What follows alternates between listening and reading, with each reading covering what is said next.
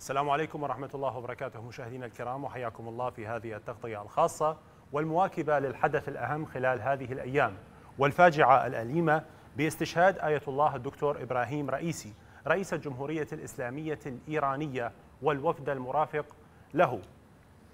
بعد حادثة الطائرة المشؤومة قائد الثورة الإسلامية الإيرانية الإمام الخامنئي استقبل اليوم المعزين بعد إمامته لصلاة الميت على نعوش وأرواح الشهداء في العاصمة طهران. وضمن المعزين كان الوفد العراقي برئاسة دولة رئيس الوزراء محمد الشيعة السوداني بالإضافة إلى العديد من الشخصيات الهامة إقليميا ودوليا. ويذكر أن إيران أعلنت الحداد لمدة خمسة أيام ترحما على أرواح الشهداء وحددت الثامن والعشرين من الشهر القادم موعد لإجراء الانتخابات الرئاسية التزاما وتنفيذا لدستور البلاد.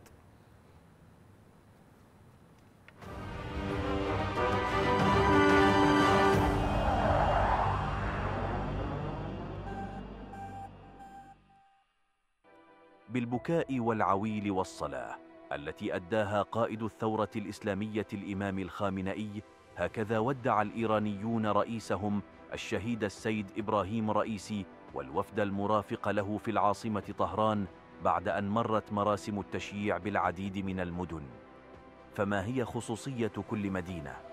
انطلقت المراسم من مدينة تبريز وهي عاصمة محافظة أذربيجان الشرقية وهي أقرب عاصمة لمكان تحطم الطائرة وتعتبر ثالث أكبر المدن الإيرانية بعد كل من طهران ومشهد. قم هي المحطة الثانية في مراسم تشييع الشهيد رئيسي حيث وصلت جثامين الشهداء بعد ظهر أمس الثلاثاء إلى المدينة التي تلقى فيها الشهيد رئيسي دراسته الدينية وتحتوي مدينة قم المقدسة على مرقد السيدة المعصومة. ومرت المراسم عبر موقعين مقدسين في المدينة مسجد جمكران وضريح فاطمة المعصومة. وكانت مدينة قم المقدسة أيضا المكان الذي درس فيه الرئيس الإيراني الراحل الفقه الإسلامية وبعدها وصل جثمان الشهيد رئيسي صباح الخميس إلى محافظة خراسان الجنوبية في طريقه إلى مدينة مشهد وهي إحدى المحافظات الحدودية للبلاد. وعاصمتها مدينة بيرجندا. والمشهد الأخير للوداع سيكون في مشهد إذ يصل نعش الرئيس الإيراني الشهيد إبراهيم رئيسي حيث سيتم تشييعه ودفنه بجوار مرقد الإمام الرضا عليه السلام ليل الجمعة.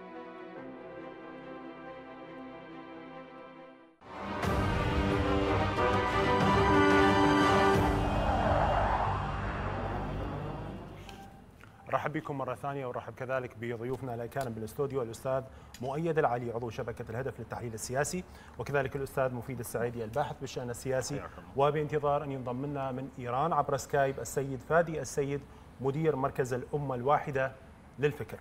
نرحب بكم ضيوفنا الأكارم وأبتدي وياك أستاذ مؤيد تشييع مهيب حشود مليونية انطلقت يوم أمس من مدينة تبريز لتشييع الشهيد رئيسي والوفد المرافق له بحادثة الطائرة. نتساءل اليوم عن الرسائل اللي أراد الشعب الإيراني إيصالها من خلال هذه المشاركة الواسعة وخصوصا أن المشاركة ما اقتصرت اليوم على فئة واحدة أو طائفة واحدة بل أنه كل الجماهير الإيرانية مشاركة بهذا التشييع. أه، بسم الله الرحمن الرحيم. تحية طيبة لك أستاذ عباس وإلى ضيفكم العزيز أستاذ مفيد وإلى كادر مشاهدي قناة الأيام. يعني بدءا نتقدم بكل آيات التعازي والمواساة إلى الشعب الإيراني العزيز. وإلى قيادته الحكيمة برئاسة وقيادة الإمام الخامنائي دام ظله الشريف في هذه الفاجعة الكبيرة التي فقدوا فيها العديد من ركائز هذه الحكومة المهمة في الجمهورية الإسلامية وفي تاريخ الجمهورية الإسلامية. أنا أعتقد هذا هذه الرسائل كانت واضحة نستطيع أن نقسمها إلى رسائل داخلية ورسائل خارجية. آه، الرسائل الداخلية إنه اليوم الشعب الإيراني رغم كل ما يمر به من ضغوط اقتصادية كبيرة جدا تضخم في الاقتصاد الإيراني حصار أمريكي وحصار غربي مطبق على الجمهورية الإسلامية. لكن رغم كل هذه المعاناة الجماهير ما زالت تؤمن بنهج الثورة الإسلامية التي أسسها الإمام الراحل الإمام الخميني في عام 1979 وبالتالي تريد أن ترسل الرسائل الجماهير الإيرانية أنها ما زالت مستمرة على هذا الخط مهما كانت الظروف مهما كانت التحديات مهما كانت التضحيات. هذه رسائل الخارج. هذه رسائل الداخل. الرسائل الخارج أنه طالما طالما راهن الأعداء الجمهورية الإسلامية وأعداء دول محور المقاومة على أن يكون هناك فجوة بين الشعب الإيراني وبين قيادته الحكيمة أو بين الشعب الإيراني وبين الثورة من خلال محاولات دس التظاهرات المدسوسين في التظاهرات التي حدثت تحت ما يسمى الحجاب حرية الرأي وغيرها وغيرها. الرسالة يعني طبعا حتى بعض الرسائل هي مشتركة بين الداخل والخارج. الرسالة لل يعني للعالم الخارج إننا متلاحمون مع الثورة. وحاضرون في كل المنعطفات الخطيره التي تمر بها وبالتالي هي رسالة تأييد اليوم رسالة تأييد ومبايعة جديدة وبيعة جديدة إلى الثورة وقيادتها المتمثلة بالسماحه السيد الخامنائي وأن الشعب الإيراني لا يمكن أن يفرط بمنجزات هذه الثورة مهما كانت التضحيات.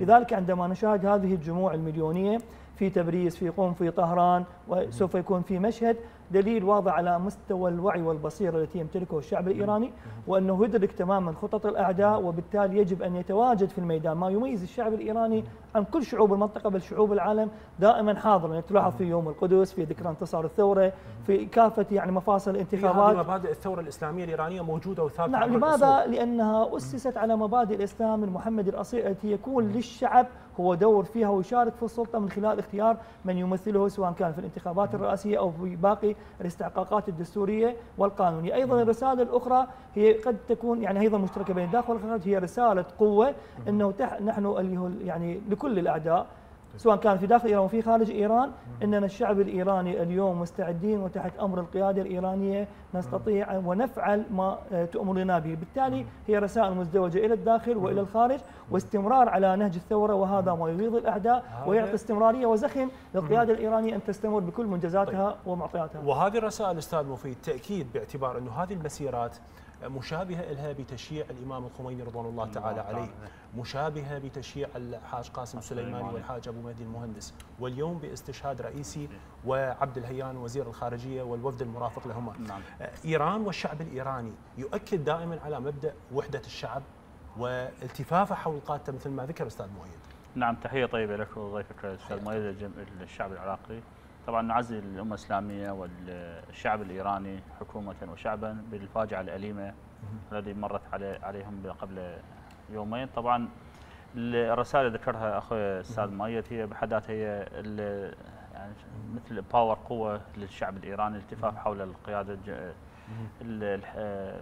القيادة الإسلامية وكقياده الوضع الحكومي الموجود هناك. نفس الوقت هي بددت كل المخططات التي كانت في السابق قبل تقريبا عام ونصف من اليوم هي أرادت مزعزعة الوضع ونقل رسائل بان هذا هو الشعب الإيراني شعب آه، غير ملتف حول الحكومة وغير ملتف حول الثورة.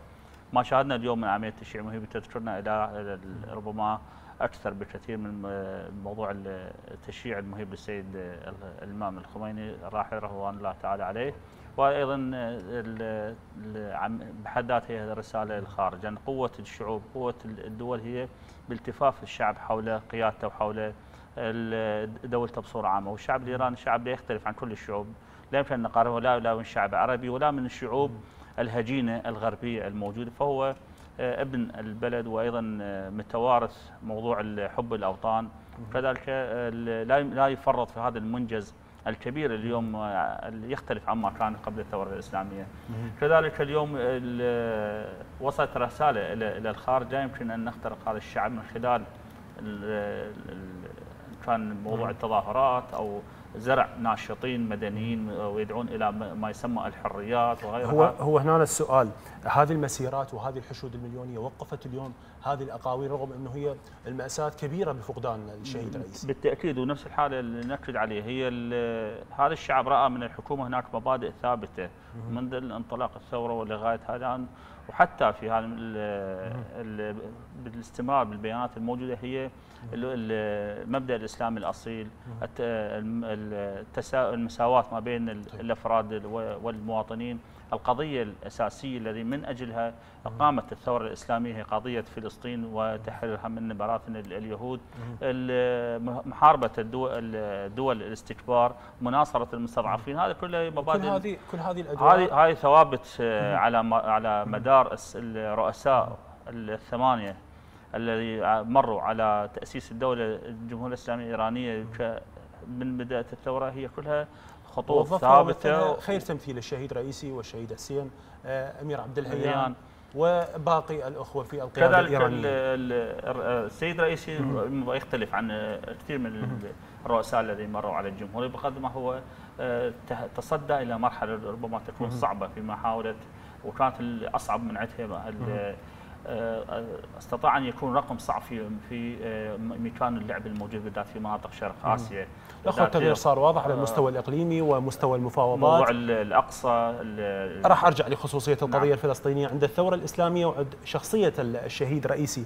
أتساءل أستاذ مؤيد عن أدوار هذه الشخصيتين وما أتساءل فقط بالداخل الإيراني باعتبار بالداخل الإيراني الأمور واضحة وخير مثال أنه في يوم الاستشهاد الشهيد رئيسي موجود لافتتاح سد فبالتالي يعمل لمصلحة الشعب. نعم. أتساءل عن ادوار شهداء الخدمه أها. باعتبار هذا الدور شلون كرسوه لخدمة المنطقة والإقليم بصورة عامة؟ أه، أنا أتذكر عندما في يوم تنصيب السيد الرئيسي كنت ضيفا. على أحد القنوات وأحد مقدمي البرامج في تلك. القناه سألني سؤال ما أعرف هو من باب الانتقاص أو الاستهزاء. قال متفائل جدا. قلت له طبعا متفائل. لأن السيد الرئيسي من رحم الثورة الإسلامية السيد الرئيسي عاشر كل مراحل انتصارات وإنجازات الثورة الإسلامية فبالتالي هو يحمل هم الثورة وهم الشعب وبالتالي يستطيع أن يقدم. اليوم إنجازات السيد الرئيسي واضحة جدا. السيد الرئيس وحكومته سارت باتجاهين. أولا يعني دعم استمرار نهجهم في دعم محور المقاومة والموانعة. طيب. والنهج الثاني هو نهج السياسة النشطة الذكية. استطاعت الجمهورية الإسلامية من حكومة السيد الرئيس وبرنامجه الحكومة الخارجي الذي خير مثله وخير تمثيل الشهيد حسين أمير عبد اللهيان من خلال جولاته المكوكية على العديد من الدول. طبعا ترسخت علاقات الجمهورية في هذه الفترة حتى مع الدول التي كانت لها علاقات قوية أصبحت علاقات قوية ومتماسكة بشكل أكثر. بالتالي اختلفت عن أدوار الشخصيات السابقة؟ أي نعم يقينا. حتى كنا نتكلم على مستوى العراق أيضا في هذه الفترة يعني العلاقة أصبحت أكثر تطورا وأخذت مجالات كبيرة جدا. على مستوى وهو محور مهم جدا استطاعت استطاعت حكومة خارجية آه، حكومة السيد الرئيسي بقيادة المجاهد المقاوم السياسي آه، السيد حسين أمين عبد الله الذي أعتقد أنه كان أكثر لاعبا وأكثر وزير خارجية فاعل على طول الحكومات الإيرانية وأكثر شخصية فاعلة في حكومة السيد الرئيسي. آه، استطاع أن يصل إلى ميادين ومساحات استطاع أن يسحب النفوذ الأمريكي ونفوذ الدول الغربية من بعض الدول المهمة في المنطقة ومنها المملكة العربية السعودية. التقارب الكبير وأيضا كان للعراق دور كبير في هذا الموضوع، التقارب الكبير بين الجمهورية الإسلامية وبين السعودية أثر على استقرار العديد من الملفات وخير شهاد العراق. كان هناك استقرار نوعا ما بسبب الظروف السابقة عمليات التفجير الاحتقان السياسي والأمني والاقتصادي حتى مع الجمهورية الإسلامية عفوا مع السعودية. آه، التقارب بين الجمهورية الإسلامية والسعودية أثر على ملفات مهمة في المنطقة منها العراق ومنها أيضا اليمن. أيضا استطاعت إيران أن تقوي علاقاتها مع روسيا ومع الصين أكثر من السابق أن تدخل كعامل فاعل في آه، اتفاقيات وتكتلات اقتصادية مهمة كبريكس وغيرها التي وشنغهاي التي بشكل أو آخر هي ضد النفوذ الأمريكي من خلال سيطرة الدولار الأمريكي على معظم التعاملات الخارجية عندما تأتي هكذا اتفاقيات أن تكون التعاملات بغير الدولار الأمريكي. هذه هذه سياسه هذه سياسة دول أم أداء أشخاص؟ لا هي سياسة دول استراتيجية دولة وثورة لكنها تحتاج إلى من يبرمجها أو يفعلها في أرض الواقع. السيد رئيسي والسيد وزير خارجيه رضوان الله تعالى مكانه خير من مثلوا هذا التمثيل ونفذوا هذه الاستراتيجية. أيضا ما يتعلق باللحظات الأخيرة. ما حدث في أذربيجان من نعم. افتتاح سد مهم. هذا السد له آثار استراتيجية كبيرة جدا. على مستوى أنه أذربيجان هي تعتبر ساحة يعني تلعب بها المخابرات الإسرائيلية والموساد الإسرائيلي بشكل واضح وبشكل صريح. أن تكون علاقات طيبة بين إيران وبين أذربيجان هذا أمر مهم جدا. أن تتواجد في ساحة يسيطر عليها أعدائك هذا إنجاز. أيضا السد يعني تقريبا الخزن السنوي 2 مليار متر مكعب من المياه. هذا يساعد أيضا على أن تكون هناك محطات كهربائية قد تنشئ طيب. هي موجودة في التصاميم.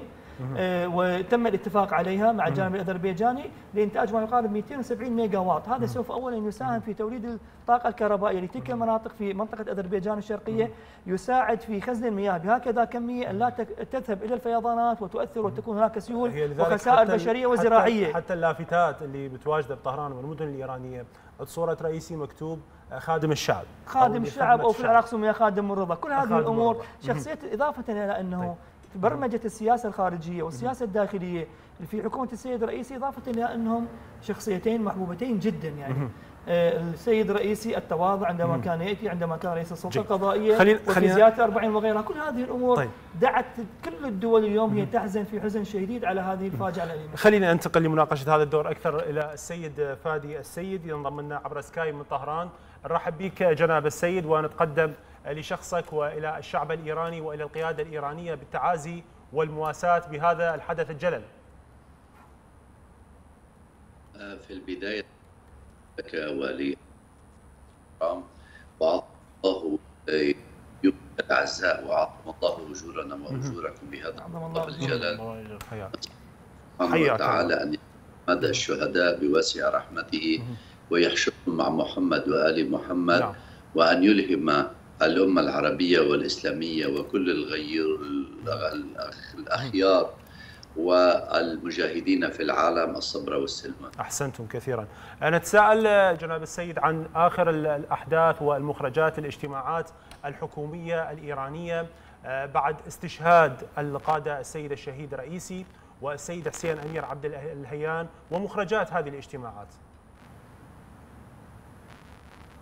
اولا أنه كان الاهتمام آه، خلال الساعات الماضية بتشييع جنائز أو جثامين الشهداء في أكثر من محافظة إيرانية تمهيدا لدفنهم في آه، مسقط رأسهم.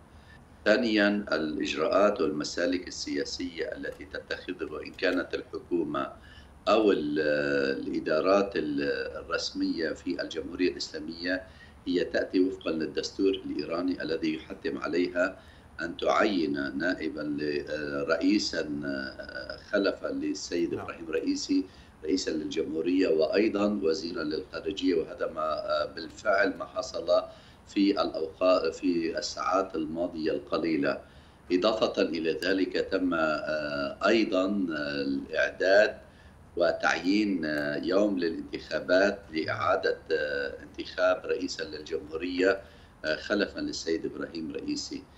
وأيضا هناك اجتماعات من أجل إكمال عجلة السياسة خلال الخمسين يوما من قبل الحكومة لأجل مسك زمام الأمور وإكمال عجلة الحكومة السياسية والتنفيذية إن صح التعبير.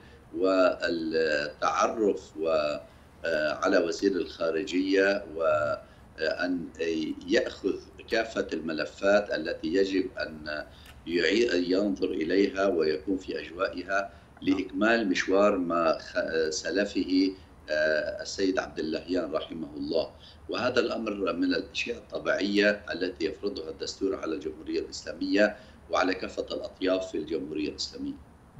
بالتالي نسأل أنه ال- الأشخاص المكلفين حاليا أو محمد مخبر المكلف برئاسة الجمهورية خلال هذه الفترة سيتم هذا الدور إلى حين تحديد الانتخابات هل هناك أشخاص حاليا مرشحين بشكل أكبر وأقرب ليكونوا بدلاء للسيد إبراهيم رئيسي؟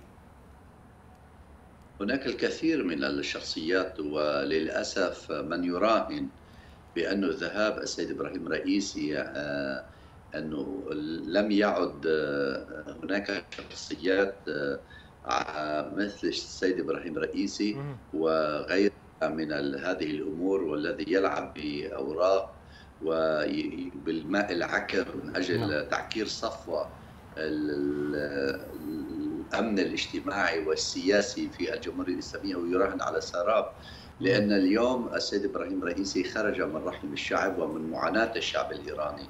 واليوم وجدنا خلال التشييع وفي الأمس كذلك الأمر الملايين التي خرجت آه، لتشارك في تشييع جثامين الشهداء. هي نفسها التي أوصلت إبراهيم رئيسي إلى ال- السيد إبراهيم رئيسي إلى آه، سدة الرئاسة. وأيضا نعم. أيضا سيخرج الكثير من الأشخاص من رحم الشعب ومن معاناة الشعب الإيراني إن كان من الحصار ال- الذي تفرضه الولايات المتحدة الأمريكية وأدواتها في المنطقة على الجمهورية الإسلامية مهم. وإن كان كثير من الأمور التي تتخذ ضد الجمهورية الإسلامية بسبب نعم. مبادئها ومبادئ الثورة التي رسمها الإمام الخميني وحفظها الشعب الإيراني. ولا يزال يعمل ويجاهد من أجل الحفاظ على هذا طيب. النهج الكثير هناك شخصيات مرشحة كثيرة بان تتولى المنصب وتكون هي لها الأهلية بأن تتولى منصب سده الرئاسة وتكون خادمة للشعب الإيراني كما كان السيد الرئيس. طيب وهذه هي السياسة الإيرانية. لذلك أسأل أستاذ مفيد ما شفنا فد وقت للصدمة وقت لضياع ممكن للقرارات الحكومية؟ شفنا مباشرة نائب رئيس الجمهورية أخذ هذا المكان مكلف بوزارة الخارجية. أكو سلاسة بهذه العملية. شلون نفسر هذه الأدوار؟ آه، طبعا الجمهوريه هي دولة مؤسسات ليس بدولة رد ولا تتعامل مع ردات الفعل كما تعامل بعض الدول. والطبيعة التكوينية طبعا النفسية الإيرانية تختلف عن شرنا عليها كل النفسيات الموجودة في العالم. ما لو لو شاهدنا في أي دولة غربية لربما لم تكن ردة فعل سريعة بتكليف محمد مخبر ان يكون هو تسير امور ولم يذهبوا باتجاه الدستور بقدر ما تكون ربما هناك اللوبيات الخارجية من تصنع وتحاول أن تصنع شخصية بديلة كما نلاحظها. احترام القانون والدستور هو دليل قوة الجمهورية الإسلامية الإيرانية. وردة الفعل الذي تعزز الثقة بالفرد الإيراني هي سرعة الإجراءات الموجودة، لا ننسى هناك من يتربص بال آه، بأقل الفرص حتى ربما يزرع نوع من الفتنة داخل الجسد الجمهورية الإسلامية الجمهورية الإسلامية، فهذه الإجراءات السريعة دليل على أنها هي دولة ودولة مؤسسات قويه ولا يمكن اختراقها ولا يمكن زرع فتنة أو زعزعة الوضع الداخلي الموجود. في داخل الجمهورية. تحديد الأشخاص وقف هاي الفتنة أثر؟ شوف الجمهورية لا تتعامل مع الأشخاص يعني لم تقف عند آه، رجائي دولة بداية الدولة وانشائها 1981 نعم. ولم تتوقف عند السيد الرئيسي فهي جامعة ومدرسة أفكار ومدرسة شخصيات قيادية. هذا دليل على انها آه، اصلها أصل المؤسساتي، النظام المؤسساتي هو لا يعتمد على شخص الرئيس بقدر ما يصنع هناك شخصيات قيادية وقادرة. وبالتالي كل شخصية لها أدوار مكلفة بها بالتأكيد لاحظ بعد استشهاد السيد قاسم سليمان من يخلف؟ وجود البديل. من يخلف البديل، البديل دائما البديل هو حاضر عند الدولة اللي فيها تحديات ودولة تحترم القانون والدستور تحترم تحترم شعبها وأمام تحديات خارجية، فلذا اليوم ربما فقط الشخص المقبل للرئاسه سيواجه ربما تحدي. هو لابد أن يكون بمستوى آه، رئيسي في واقع الخدمات ونزول الخدمة الأكثر وبمستوى عبد الهيان في وضع السياسة الخارجية، نعم هناك المتغيرات الخارجية تحتم على الجمهورية أن آه، تذهب باتجاه استثمار الفرص الموجودة لسد شاغر أو ربما هي فرصة في واقع اللعبه الخارجية. وسد هذه واستثمارها في طيب. تحقيق ما يخص ما يخص الاستثمار أستاذ مؤيد يعني وزير الداخلية أحمد وحيدي خلال مراسم التشييع بكلمته ذكر ما معناه أنه الشعب الإيراني سيحول كل مصيبة إلى درج للارتقاء بالأمة إلى أمجاد جديدة. هذه الحادثة ممكن أن تشكل بداية جديدة وتحدي مثل ما ذكر أستاذ مفيد بقادم السنوات بناء على الوضع الحالي والمعطيات الحالية والقضية الفلسطينية من جهة والعقوبات الأمريكية من جهة ثانية. آه، يقينا الجمهورية الإسلامية فيها العديد من نقاط القوة والارتكاز. آه، ما تفضل به الضيف الكريم أن إيران هي دولة مؤسسات فعلا هي دولة مؤسسات. آه، والأهم والأبرز هو الوجود المبارك لسماحة آية الله العظمى السيد الولي الفقيه على رأس القيادة في إيران ويعتبر من أهم صمامات الأمان وكان دوره قياديا نعم. وحكيميا وبارزا في الساعات الأولى الحادثة عندما خرج بتغريدة أو بيان سربت للإعلام إنما دعا الشعب الإيراني أنه لا يقلق إدارة البلد سوف تستمر. هذه صحبة البساط من كل المرجفين ومن كل الذين يحاولون أن يتصيدوا في الماء العكر. وأيضا آه، هذه الكلمات أعطت عامل اطمئنان للشعب الإيراني. آه، هذا الوجود المبارك سماحة الله العظمى السيد الخامنائي نعم. الدستور الإيراني آه، تعدد السلطات مشاركة الشعب والتفافه حول القيادة كل هذه تعتبر نقاط قوة وارتكاز. الشعب الإيراني دائما تعلم وتربى ودرس على أنه دائما يحول التحديات والمصاعب والتهديدات إلى نقاط قوة. الثورة الإسلامية في أيامها الأولى تعرضت للعديد من عمليات التشويه الإعلامي، الإشاعات، الدعايات، الاغتيالات، محاولات اغتيال السيد الإمام الخميني، السيد الإمام الخامنئي في عام 1981 أول انتخابات، السيد رجائي أقل من يعني شهر بثقل بثقل هذه الشخصيات يعني الرحمه والغفران لها بثقل الشهيد رئيسي؟ نعم كل هذه الشخصيات إيران هي ولاده القيادات. إيران ولاده القيادات. قد خصوصا تأتي على مستوى رئاسة الجمهورية. نعم خصوصا على مستوى لأنه بالتحديد بالتحديد الحرس الثوري وجمهور الثورة الإسلامية هو ولاد القيادات كانوا دائما يعملون على أن تكون هناك التطور العلمي، امتلاك التقنيات التكنولوجية، القدرة على الإدارة، السياسة، كل هذه الأمور، لذلك عندما يتكلم وزير الخارجيه بهذه النقطة اولا وزير الخارجيه وتكلم بهذه النقطة، هاي المفروض أن يتكلم بها وزير التخطيط وزير يعني التنمية الأمور لكن عندما يتكلم بها وزير الداخلية أراد أن يعطي فيها بعدا امنيا.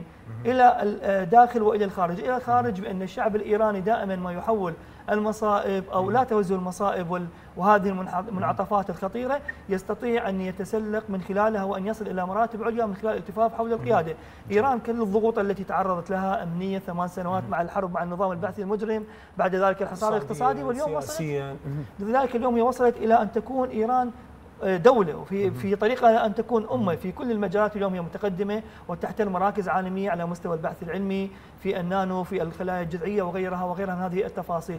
هذا بماذا؟ أنا أتذكر في أحد السنوات كنت في الجمهورية الإسلامية التقيت مع أحد الزملاء في طلبة في الجامعات الإيرانية.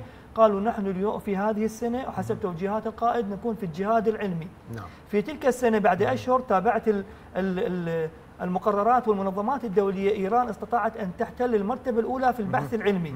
فبالتالي هذا القيادة تواجد وتضع آليات وهناك من تعدد الأدوار والمهام في مختلف المجالات. يعني وحدة هدف والأدوار تتعدد والشخصيات إيران لا يمكن أن تقف عند شخصية واحدة. طيب. آه، ممكن أن تستمر في نهجها استراتيجي. طيب.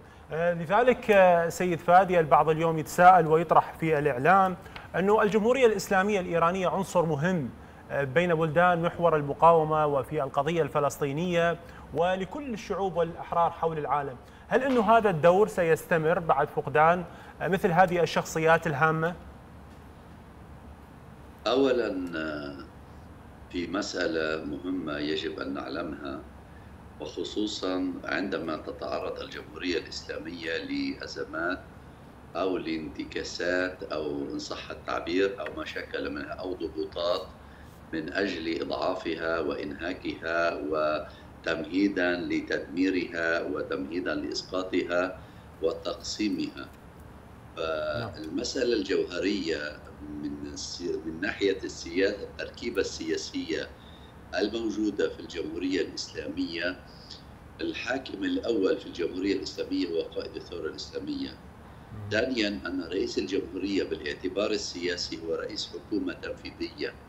يعني رئيس الهيئة رئيس السلطة التنفيذية في الجمهورية الإسلامية ويكون على رأس عدد من الوزراء آه، يحدد وفقا للدستور الإيراني. ثالثا عندما نتعامل بدولة كالجمهورية الإسلامية دولة دستورية ودولة بكل المعاني للدولة من ناحية آه، أنها هي دولة ديمقراطية القيمة الأساسية والجوهرية للحكم في الجمهورية الإسلامية هو للشعب الإيراني وليس للقيادات وليس للأفراد.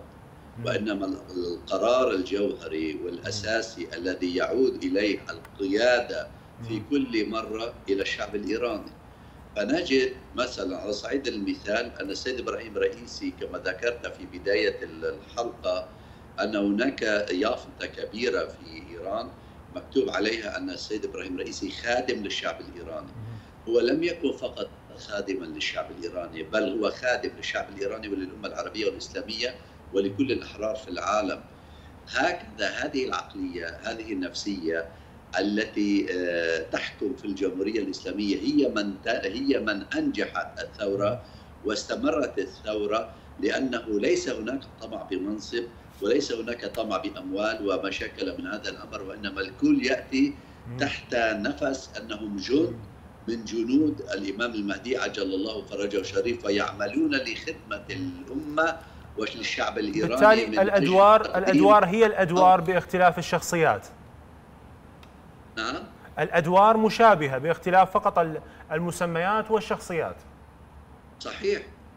يعني أي شخص يذهب يأتي الآخر ويكمل المشوار ليس هناك أي مشكلة أو أي إضعاف للثورة الإسلامية. وهذا وهذا النموذج اليوم في المنطقة هو نادر من نوعه لأنه اليوم إذا بننظر آه، في الواقع الأمة العربية والإسلامية أو الدول العربية والإسلامية إن صح التعبير من يشبه الجمهورية الإسلامية من ناحية الحكم ومن ناحية الديمقراطية نعم. ومن ناحية الدستورية. بالنادر لا تجد أن هناك دولة على شكل الجمهورية الإسلامية. لذلك اليوم نعتبر نحن الجمهورية الإسلامية هي كالقطب من الرحى من أي محور في العالم لانها هي مصدرة اليوم للديمقراطية الحقيقية في العالم. هي النموذج الراقي للديمقراطية العالمية في العالم لأن الشعب هو آه، مصدر السلطات وهو الشعب هو المصدر الشرعي الأساسي نعم. والجوهري لشرعية الثورة الإسلامية في إيران ولشرعية الدولة ولشرعية الدستور الإيراني. لذلك اليوم نحن كلنا جميعنا نحتاج وندعو إلى أن تنتقل أو ينتقل هذا النموذج الراقي في الجمهورية الإسلامية إلى الكثير من الدول العربية والإسلامية ليكون الشعب هو الواقع الحقيقي والحاكم الأول في العالم لأن اليوم آه نشوف النموذج إنه 42 سنة سنة أو أكثر من 42 نعم. سنة. نجد التحديات التحديات التي تتعرض لها الجمهورية الإسلامية أي دولة أخرى في العالم. لو تعرضت لما تعرضت له الجمهورية الإسلامية لكانت سقطت من أول سنة. لماذا اليوم الجمهورية الإسلامية لم تسقط؟ بل هي في كل مرة تخرج ممكن من ممكن هذا هذا هذا فسر فسر وزير الداخلية السيد أحمد وحيدي بتصريحه خلال المراسم اللي ذكرناها قبل قليل أنه الشعب الإيراني دائما ما يتخذ هذه الصعوبات كدرج للارتقاء أكثر. أنتقل لك أستاذ مفيد. سألنا عن هذا الدور. أوضح جزء من عنده السيد فادي ما يخص السياسة الخارجية الإيرانية ودعم بلدان محور المقاومة وهذه الثوابت عند الثورة الإسلامية الإيرانية. ما من الممكن انه تتأثر برحيل هذه الشخصيتين؟ شوف سبب قوة الجمهورية الإسلامية الإيرانية هي دولة غير محتلة. ولا توجد لديها غرف مخابرات تعمل كما تعمل ولا اوبيات كما موجودة في الدول الغربية بحد ذاتها، هي دولة قرارها من رحم شعبها. وقرارها قرار خالص إيراني 100% لا توجد مثل غرفة عمليات غربية ولا شرقية تدخلات. ولا تدخلات ولا يوجد فرض لإرادة على إرادة الشعب وعلى إرادة السلطة. فتلاحظ هي ب level عالي و ونجاح إلى نجاح. وأيضا التفاف الجماهيري الموجود. لأن لا يوجد هناك السموم تقول له آه، رئيسي هو ليس إيراني هو باكستاني أو اذري أو عربي. هذه هي من وجود الاحتلال ومن وجود الغرف المخابرات الأخرى. هذا دليل قوة وحتى الشعب ما متاثر مثل ولا يتأثر بها. المحور المقاومه لا يتأثر بصورة عامة بوجود يمكن طرقنا إلى موضوع حتى الزملائي. هناك ثوابت خاصة من إعلان الجمهورية الإسلامية الإيرانية وتشكيل وانتصار الثورة هو نصرة المظلومين ومحاربة دول الاستكبار وعلى أساس القضية الفلسطينية. طيب. فاللي صاحب قضية واللي صاحب هدف استراتيجي حتى إذا تلاحظ قضية فلسطينية بعد انتصار الثورة بشهرين تقريبا أو أقل من هالمدة هاي مدة قصيرة. إذا كانت من أولويات الثورة هي الدرجة الأولى هي تشكيل الحكم في الجمهورية بعد الانتقال إلى الحكم الهدف الاستراتيجي إن شاء الله القريب. هو تحرير فلسطين. فلذا تلاحظ إعلان يوم القدس العالمي. واعلان يوم القدس العالمي. إذا تلاحظ هذه القضية الفلسطين ودعمها ورفع هذا الشعار خسر ذاتي بالمقاسات الربح والخسارة. ربما خسرت الكثير. عزلة دولية حصار حرب آه، كثير من الأمور وضغوطات خارجية. سلطت على الشعب الإيراني مقابل شنو؟ مقابل هو أن يتخلى عن الهدف الاستراتيجي هو القضية الفلسطينية أو التخلي عن دعم المقاومة الموجودة في فلسطين. هذه كلها التحديات بالمقابل يجعل لدى دول المحور ولدى فصائل المقاومة الموجودة في أي بلد من البلدان هو يتمركز ويتكي على آه، جدار خرساني كونكريتي بقوته وبقوة الهدف. وأيضا المشروع ليس مشروع آه، سياسي بحد ذاته هو مشروع إلهي اللي هو إحقاق الحق والعدالة هو مشروع ثورة. ومشروع ثورة ونصرة مظلوم. هذه كلها أهداف هي بغض مشتركة لكن آه، عندما تنظر إلى التاريخ كل التحديات الموجودة ترى الجمهورية هي واقفة ولا تتنازل عن أي هدف طيب. استراتيجي هو رسمتها منذ البداية. واحدة من أهم التحديات أستاذ مؤيد مسألة العلاقات الخارجية والعقوبات الأمريكية باعتبار اليوم البعض ومنهم السيد ظريف محمد ظريف وزير الخارجية الإيراني الأسبق ينظر إلى أنه السبب في هذا الحادث هو الجانب الأمريكي والعقوبات الأمريكية ومسألة استيراد قطع الغيار والطائرات وغيرها من هذه الأمور فبالتالي نتساءل عن السياسة الإيرانية الخارجية. هل أنه راح يكون أكو فد تغيير بعد كل هذه الأحداث؟ يعني أنا أعتقد قبل عام الشهر الثالث في العام الماضي هذا السؤال سئلته للشهيد وزير الخارجية الإيراني سيد أمير حسين عبد اللهيان وقال شعارنا وسياستنا واستراتيجيتنا واضحة. كما قالها الإمام الخميني لا شرقي ولا غربي. فبالتالي الثبات على المبادئ واقعا هو من يحدد ويبين استراتيجية الجمهورية الإسلامية. الجمهورية الإسلامية آه، تعمل كما قلنا في حكومة السيد الرئيس عملت باتجاهين متوازيين. موضوع العلاقات الخارجية حققت فيه انتصارات كبيرة جدا لا تقل أهمية نعم. على الانتصارات التي حققتها في دعم استمرارها لدعم محور المقاومة والممانعة الحصار الاقتصادي الذي فرض على الجمهورية الإسلامية واقعا هو لم يكن لما يتعلق في البرنامج النووي كلنا نتذكر طبيعة المفاوضات التي حدثت وأن إيران هي أصلا ليست بنيتها تنطلق من. منطلقات شرعية لا تريد أن تمتلك القنبلة النووية كل ما قامت بالولايات المتحدة الأمريكية والدول الغربية هو من أجل أن تفرمل نوعا ما أو تعرقل انطلاق إيران في المنطقة آه، تعرقل وتوقف دعم إيران إلى فصائل المقاومة في المنطقة ولا كل جهات التحرر والمقاومة في المنطقة. بشكل من الأشكال أرادت أن تؤثر على إيران. لكن إيران كانت يعني واقعا تتعامل مع الأزمة بمنتهى البراعة. استطاعت أن تحول كما قلنا يعني في كلام تقريبا على كلام وزير الخارجية الإيراني حولت عفوا الداخلية. التهديدات والتحديات إلى فرص. استطاعت أن اليوم لديها اكتفاء ذاتي في العديد من الصناعات المحلية المحاصيل الزراعية الاستراتيجية آه، لها عندها اكتفاء ذاتي وتصدر إلى الدول الأخرى. أيضا اليوم حتى على مستوى الكهرباء. اليوم نحن العراق بشكل أو آخر نعتمد على الغاز الذي آه، لازم تشغيل محطات ومولدات الطاقة الكهربائية من الجمهورية الإسلامية. أيضا اليوم لا ننسى وفي تطور كبير جدا في ظل الصراع الروسي الأوكراني آه، الطائرات المسيره الإيرانية تتواجد وتقتنيها القوات الروسية التي تعتبر من القوات والدول الكبرى في العالم. عسكريا فهذا التطور الكبير للجمهورية الإسلامية لم تستطع يعني لم يستطع الآخرون أن يوقفوها. بالتالي السياسة الخارجية للجمهورية الإسلامية هي سياسة ثابتة وواضحة تنطلق من منطلقات شرعية وإنسانية في دعم دول محور المقاومه والممانعة تنطلق من منطلقات مبدأ المنفعة المتبادلة والمصالح المتبادلة مع الدول الأخرى. ذاك اليوم هي لديها علاقات جدا طيبة مع روسيا مع الصين. اليوم ما حدث من خلال وجود الوفود دول متعددة روسية صينية جزائرية تونسية. حتى طبيعة تفاعل المملكة العربية السعودية في بيانها الأول يوم الاستشهاد نعم. تدل بشكل واضح على أن إيران حققت إنجازات كبيرة جدا على المستوى السياسي الخارجي. هذا ماذا يبين؟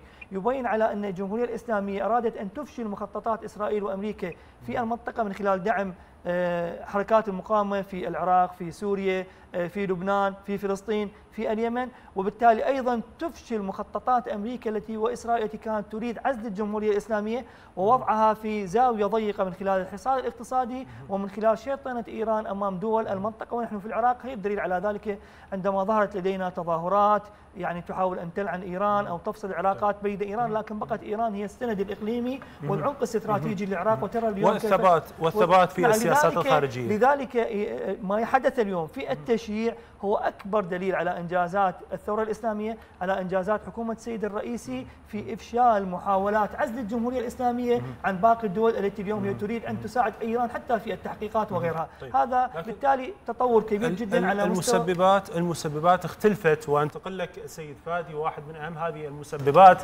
آه، مسألة العقوبات. يعني البعض يتساءل أنه الجمهورية الإسلامية تطورت في مجالات مختلفة. لكن موضوع مسألة الطيران ومسألة الظروف الجوية كانت واحدة من المسببات لاستشهاد السيد الرئيسي والوفد المرافق له فبالتالي نتساءل هل أنه هذه المسببات راح تأثر على هذه السياسات الخارجية؟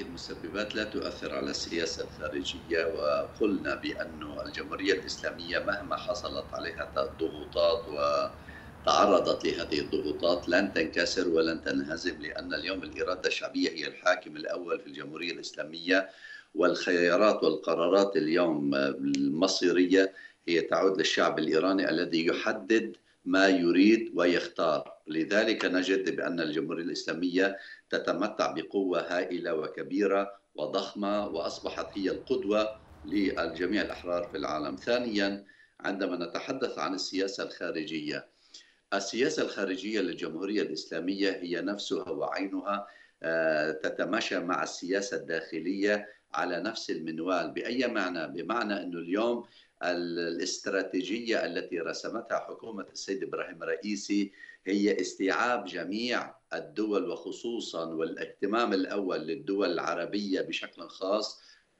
والدول الإسلامية بشكل عام من أجل استيعاب الجميع وتسفير المشاكل فيما بينهم من أجل أن يكونوا قطب واحد في المنطقة ليحموا أنفسهم ولا يعتمدوا على أي آه، دولة من الدول الخارجية لأن اليوم الأمن يحتاج إلى آه، وأن الأمن والمناطق في المنطقة الشرق الأوسط بمعنى الدول العربية والإسلامية تحتاج إنه أصحابها هي من تحمي أنفسها ولا تعتمد على الأمور. وهذا ما ما كان آه، ضربة قاصمه للدول الغربية وخصوصا الاستكبار العالمي. لأننا كلنا نعلم بأن اليوم أغلب الدول العربية والإسلامية وقوفها وصمودها من الناحية الدكتاتورية هو بسبب الدعم المفتوح من قبل الولايات المتحدة الأمريكية وليس آه، للشعوب أي قيمة في هذه الأمور بل الشعوب مضطهدة في هذه الدول والأنظمة. فالمراد اليوم بسياسة آه، السيد إبراهيم رئيسي رحمه الله كانت تسفير المشاكل وقطع الطريق أمام التدخلات الأجنبية والخارجية وأيضا الاعتماد والمشاركة في حماية أمن المنطقة من قبل الدول عينها وليس من الخارج. ثانيا عندما نتحدث عن مثلا على صعيد المثال عن المفاوضات والملف النووي الإيراني نعم. على مدى السنوات طويلة وطويلة وطويلة الجمهورية الإسلامية لا تستعجل في أي قرار وإنما تأخذ آه، حيزا كبيرا لأن تقدم على أي خطوة تصب في صالح وتحمي مصالح الجمهورية الإسلامية بالدرجة الأولى ومصالح الدول العربية والإسلامية بالدرجة الثانية. ولا تستطيع أن تتنازل قيد أنملة عن أي قرار من القرارات. ثالثا عندما نتحدث عن القضايا الجوهرية في المنطقة التي ترعاها الجمهورية الإسلامية وخصوصا قضية فلسطين نعم. اليوم الدستور الإيراني يحتم على أي حكومة تأتي في الجمهورية الإسلامية على الدعم الأول لقضية فلسطين. أي شخص يأتي وأي شخص يذهب هذا الأمر ليس له أي تأثير على أي دعم وأي هذا قرار هذا الأمر باعتباره من الثوابت ومثل ما ذكرت حضرتك أنه هو موجود في الدستور الإيراني. نتساءل أستاذ مفيد هذا الوضع وهذا النظام وهذا الدستور القوي وهذا الالتزام بتطبيق مبادئ الدستور شكل فد أو راح يشكل فد خيبة؟ للجانب المتربص ممكن لهذه الأحداث يحاول أنه يستفيد من هذه الأوضاع. شوف الجانب الآخر هو يحاول ويحاول أن يتصور الجمهوريه كأي دولة ربما استطاع أن ينفذ إليها. من الأبواب الذي هو يراها مناسبة للدخول. ربما هو يذهب باتجاه موضوع حقوق الإنسان والحرية البشرية والحجاب. ولم ولم ينجح في هذا الجانب. استطاع من موضوع الحصار والضغط الاقتصادي على الجمهورية الإسلامية الإيرانية و13 جارة لإيران ربما معظمها استخدمت بعض الضغوطات الاقتصادية ولم تفلح في هذا الجانب. استطاع أن ربما في موقع تقويض النفوذ أو ليس النفوذ بقى الخناق على الجمهورية باحتلالها أفغانستان والعراق وحتى يكون مسيطر هم أم لم يفلح في هذا الجانب. ذهب باتجاه أبعد هو آه، محاور اختصاص من قياداتها والعقول الكبيرة مثل آه، السيد الحاج قاسم سليمان رحمة الله عليه روحه وبعض العلماء النوويين في داخل الجمهورية ولم يفتحها شوفها كلها تحدث في ظرف عامين أو ثلاث أعوام. من خلال فترة زمنية متقاربة تحاول الضغط على الجمهورية لحاول أن حتى تنفذ إلى الداخل أو تحاول أن تقلل من عزمها ومن هذا الليفل الصاعد لكن كلها لم تفلح بها. آخر ما وصلنا إليه إن فاجاه طوفان الأقصى وموضوع محور المقاومة استطاع ربما صواريخ من من اليمن تضرب عمق تل أبيب والأراضي المحتلة، صواريخ وطائرات مسيرة. وهذا العرس الذي حلق من سماء طهران مرورا بالعراق واصابه الأهداف الموجودة في داخل العمق الكيان الصهيوني. نعم. هذا كله عمليات آه، فعل وردة فعل بالمقابل الجمهورية ذهب بهذا الاتجاه. أنا قلت قوة الجمهورية تكمن في الأساس هو القيادة الحكيمة والرؤية الواضحة والأهداف الاستراتيجية الموضوع. هذا ثلاث قوة. الأمر الآخر اللي يعطي قوة أكثر نقاط قوة تعتمد عليه هو بلد غير محتل كما أشرنا ولا لا قاعدة ولا غرفة مخابرات تعمل به.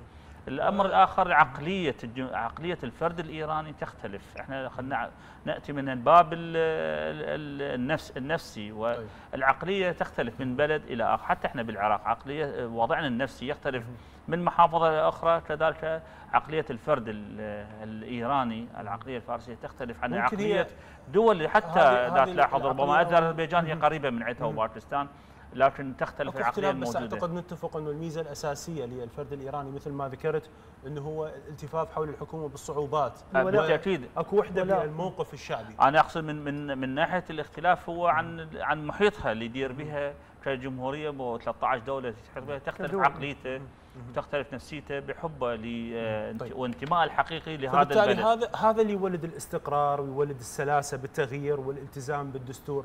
هذا شنو أهميته اليوم؟ إذا ما نذكر فقط إيران أهميتها بالنسبة للمنطقة. يعني اليوم في ظل التطور الكبير على مستوى التبادل التجاري تقنيه المعلومات والاتصالات التي جعلت العالم عبارة عن قرية صغيرة آه، لم تعد هناك سياسة كل دولة تعمل لحالها بدون أن تكون هناك لها تفاهمات أو أن تدخل ضمن تكتلات سياسية أمنية اقتصادية. كل العالم اليوم يتعامل بهذه التفاصيل إنه كتلة الدول تقوم ببعض الإنجازات أو بعض التحالفات نعم. أو التفاهمات، إيران يعني دولة كبيرة جدا في المنطقة لها بعد آه، جغرافي مهم جدا، أيضا آه، استقرارها السياسي، استقرارها الأمني يؤثر على كل ملفات المنطقة، في عملية الوقت الصادق الذي ذكرها الضيف الكريم، يعني كل العالم كان يقف على رجل واحدة. منتظر ماذا سوف يحدث وكيف سوف يكون الرد الإيراني الذي كان بمنتهى الدقة ومنتهى الحكمة ومنتهى الذكاء الذي استطاع أن يقصف آه، إسرائيل رغم وجود كل دفاعات الجو الأمريكية والإسرائيلية والأردنية وغيرها تتواجد وفعالة. بالتالي اليوم أي استقرار لأي دولة في المنطقة يؤثر إيجابا أو سلبا على باقي الدول الأخرى. إيران هي لم تعمل فقط على استقرارها رغم ضعفها إيران هي من ساعدت ولدت العوامل لاستقرار العديد من الدول. العراق وكلنا شاهدنا وعاشرنا كيف قدمت يد العون بعد عام 2003 سواء عن كافة المستويات الأمنية السياسية الاقتصادية. أعطت دماء خيرة رجالها بدءا من الشهيد حميد تقوي في بلد إلى الحاج قاسم سليماني في مطار بغداد. كل هذه التضحيات إضافة إلى عمليات الغاز الطبيعي عفوا الغاز اللازم تشغيل مولدات والحصار الأمريكي إنه لا تدفعوا لهم وكست اشهر لو تدفع لهم الحكومة تدفع لهم ما تدفع لهم. كل هذه الأمور اليوم إيران هي عامل استقرار المنطقة إيران عملت على إفشال مشروع الشرق الأوسط الجديد. إيران ومن تعاون معها من فصائل المقاومة العراقية ودول محور المقاومة أفشلت المشروع الأمريكي مشروع الشرق الأوسط الذي كان يراد له أن يصمم تصمم منطقة غرب آسيا تحت مسمى الشرق الأوسط الجديد الذي تحكمه أمريكا وإسرائيل بشكل أو آخر. فشلت في هذا المشروع رجعت إلى عصابات داعش أيضا فشلت بدعم وإسناد الجمهورية الإسلامية التي رأيناها في العراق كيف قدمت الدولة الوحيدة المحيطة بنا قدمت الأسلحة وفتت مخازنها بالتالي استقرار إيران يؤثر على استقرار كل الدول الأخرى. وأعود وأقول إيران هي كانت عامل مساعد رغم ظروفها رغم الحصار عليها رغم جراحاتها كانت عامل مساعد على استقرار الدول في المنطقة. لذلك اليوم إفشال. تفضل الضيف في نقطة مهمة لماذا كثرت الاغتيالات في السنوات الأخيرة؟ لماذا؟ لأن الطرف الآخر بدأ يزرع استراتيجيا اليوم الكل يدرك ومراكز الامريكي البحوث الأمريكية تقول حتى تكون هذه الخطوة هي آخر الخطوات اللي ممكن يلجأ لها. الطرف الآخر. نعم. نعم الهروب إلى الأمام. فشل بالعديد من الخطوات نعم والعقوبات والمسائل لذلك اليوم عندما يتكلم نتنياهو يترك حماس ويتكلم عن إيران. يدرك تماما إن إيران وفصائل المقاومة هي من أوصلت المقاومة الفلسطينية أن تنتقل من حالة الدفاع إلى حالة حالة الهجوم أن تصمد لما يقارب ثمانية أشهر أن تنتقل من الحجارة إلى الصواريخ والبالستية. أهمية لذلك لذلك تساءلنا عن أهمية هذا الدور وبقاء الاستقرار بهذا الدور واستمرار وهذا الدور الإيراني ماذا شكل؟ ومحور المقاومة. ماذا شكل؟ شكل نقطة مهمة جدا. اليوم الكل يعني يعيش ارهاصات بناء وهندسة نظام عالمي جديد. نعم. لم تعد أمريكا تسيطر على العالم. هناك نظام جديد يتشكل. من ضمن أقطابه قد تكون الصين بشكل فاعل روسيا وأيضا دول محور المقاومة. بقيادة الجمهورية الإسلامية سوف تكون فاعلة في هذا. لماذا؟ لأن موقعها الجغرافي الذي يتحكم بممرات الطاقة. تذكر وتكون نعم. أنت أستاذ نعم. مفيد والجميع يذكر عندما مجرد قصف آه، انصار الله الحوثيين الأبطال للسفن الأمريكية والبريطانية في خليج عدن أربك العالم. واربك حركه التجارة والوقود الذي يحتاجه فبالتالي نحن نمتلك يعني منافذ الطاقة ومنافذ التجارة في العالم ممتاز. وبالتالي إيران سوف تكون لها رقم صعب هي ومن يتبعها نعم. فيها أنا أشكرك الأستاذ مؤيد العلي عضو شبكة الهدف للتحليل السياسي. كذلك أشكر الأستاذ مفيد السعيدي الباحث في الشأن السياسي. حياك الله. والشكر موصول كذلك إلى السيد فادي السيد مدير مركز الأمة الواحدة للفكر. والشكر موصول لكم مشاهدينا الكرام على طيب المتابعة. نلتقيكم تغطيات أخرى إن شاء الله. في أمان الله.